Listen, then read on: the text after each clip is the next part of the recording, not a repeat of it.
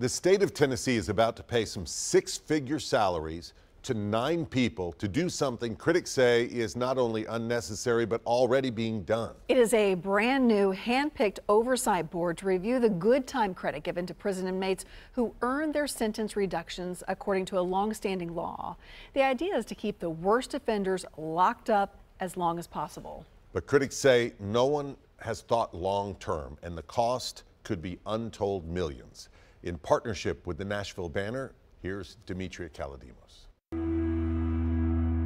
This is the man who prompted a whole new layer of prison bureaucracy. Cleotha Henderson was sentenced to 24 years for kidnapping. He got out after 20, then allegedly kidnapped and killed a Memphis schoolteacher. Henderson misbehaved time and again behind bars, didn't take a single class. For that, he lost 180 days of so called good time. But when he was let go, mathematically, he had done all the time the law required. Uh, that's what started it. We, we need to do something about this.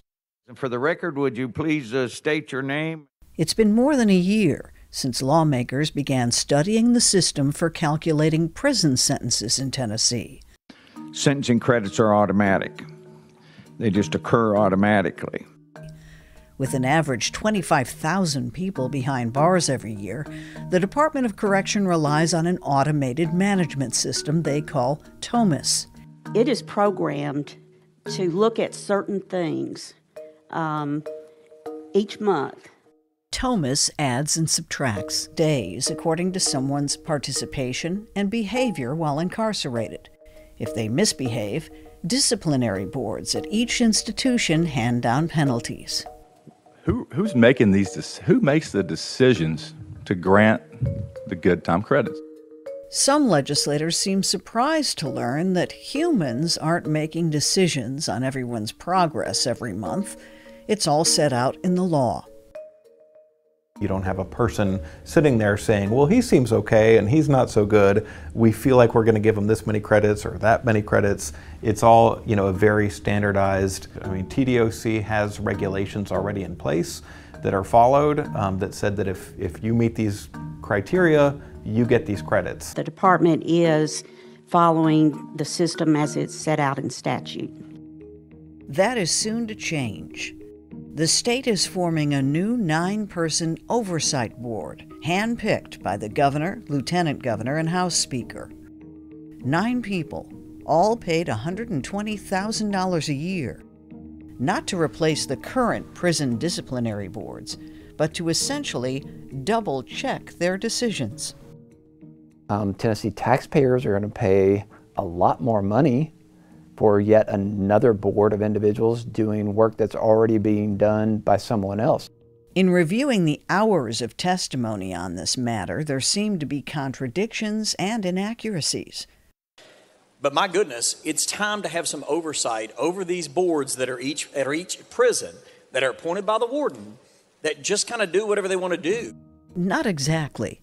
Prison disciplinary boards do have guidelines to follow and they can and do remove sentence credits. And as for the new Oversight Board, it's still unclear how many cases they might be able to oversee. They take each inmate individually and they will um, say, yes, this person does deserve these credits that, that he's been awarded. But it doesn't say that they have to look at every single one. They have the discretion of, as they go through, making sure they can handle the cases that they do see. I believe that this would be basically an impossible undertaking by the review board. Lawmakers heard from colleagues and legal experts who questioned the capacity of nine individuals to do this job. From my calculations, you know, if you spend just a minute um, each week on, um, or each month on each of these 28,000 inmates, you're talking about over 100 hours a week of work just to spend a minute looking at the paperwork, just a minute per inmate. I don't know how they're supposed to do that if they're really looking at these things. And so my concern is, is that they're going to say, well, gosh, we haven't been able to approve these credits yet. We're going to have to get them next month, and then that's going to turn into months and months of backlog. Also, This board's been given a tremendous amount of administrative power to promulgate its own rules, hire staff as it sees fit. I mean, you're talking about real money here and real power.